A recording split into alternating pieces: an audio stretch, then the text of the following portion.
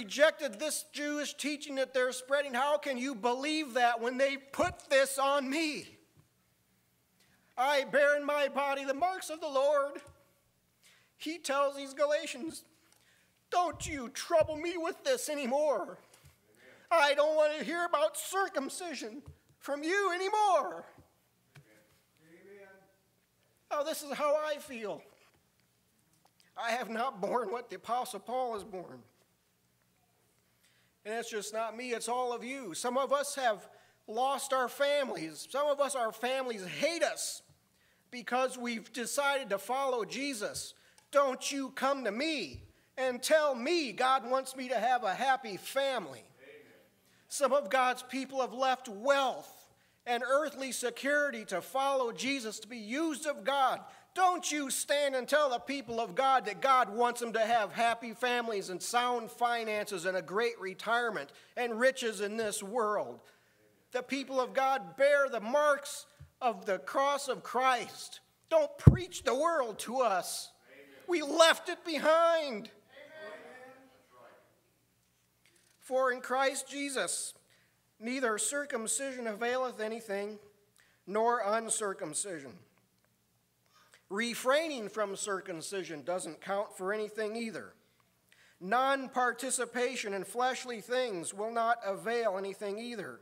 Some of the same things Brother Tim mentioned. I don't drink, I don't smoke, I don't curse, I don't cheat on my wife, I don't watch television, I don't read the latest religious literature, I don't do the praise and worship thing, I don't have a worldview. This abstinence of itself is to no avail either, but a new creature. Here is what avails us of everything that God has for us. The new creature, the new man, the new nature avails us of every needed resource, both in this life and in the world to come, and in the judgment. The new creation will prevail to be justified of God. The new nature will profit the believer in this life and in the day of judgment. Now, first, to enter into this discussion, a person has to believe what God has said about the new nature or the new creation, the new creature. This is not a part of you that was there all along, lying dormant, and that Jesus stirred up. The new creation is not a new thought process, it's not a new list of rules.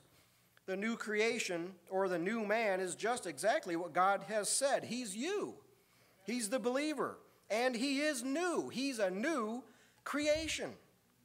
This part of you did not exist before. God created you all over again. And this nature did not come from Adam. He does not have Adam's propensity to sin. The new man is born of God and is like God in righteousness and true holiness. He cannot possibly be anything else, just as Adam's nature cannot possibly lead to anywhere but sin and death the new man can be put off. He can be subjugated to the carnal nature. He can be ignored, if you will, but he cannot be corrupted like Adam's race. The new man cannot sin, nor does he want to sin, nor can he be tempted to sin. The new man only wants to please God, and he cannot do anything but please God. Now, if you don't believe these things are true, then you are in great danger because the only alternative is to try to tame the flesh or discipline the flesh into pleasing God. Paul goes on to say, And as many as walk according to this rule, peace be on them, and mercy, and upon the Israel of God.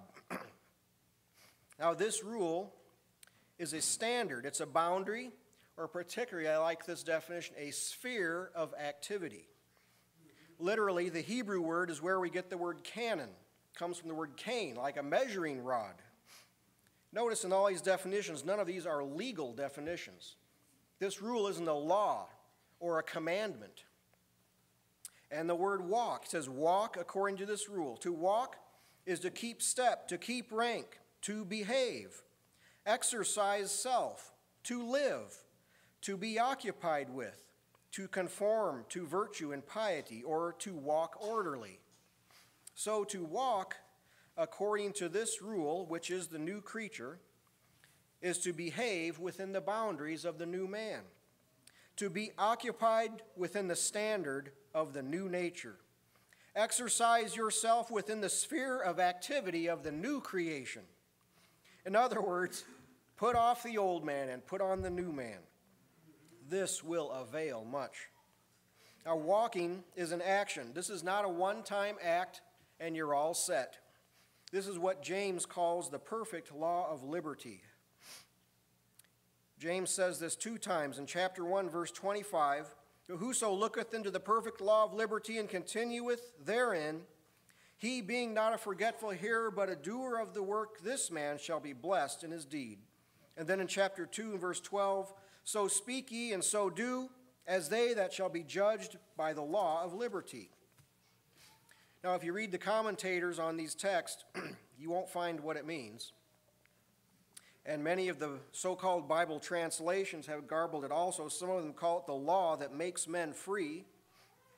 Among commentators, they referred to it as the law of love, gospel law, law of the gospel, a system of religion.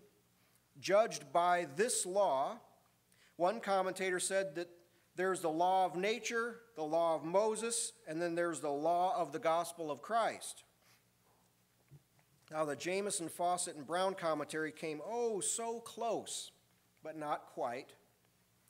They said that is the gospel law of love. Now, mind you, James didn't say law of love, he said law of liberty. Why they seem to interpret liberty as all, all these other different things, I don't know. but now, it's not the law of love, but I do like the rest of what they said, which is not a law of external constraint but of internal, free, instinctive inclination. They got that part of it right. But you don't get this by obeying. See, with most of the commentators, they look at this as if you obey this law, then you'll be free. That's not at all what James is saying. it's not a commandment to obey, it's a principle. It's a principle of liberty. There is no law that makes men free, as some of the translations have stated it. Not even the law of love or the gospel law. I'm not even sure what that is. I don't know what that even means. Certainly not the law of Moses. For if there had been a law given which could have given life, verily, righteousness should have been by the law.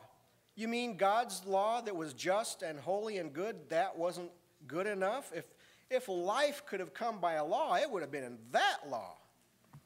Here, here Moses says this way back in Deuteronomy.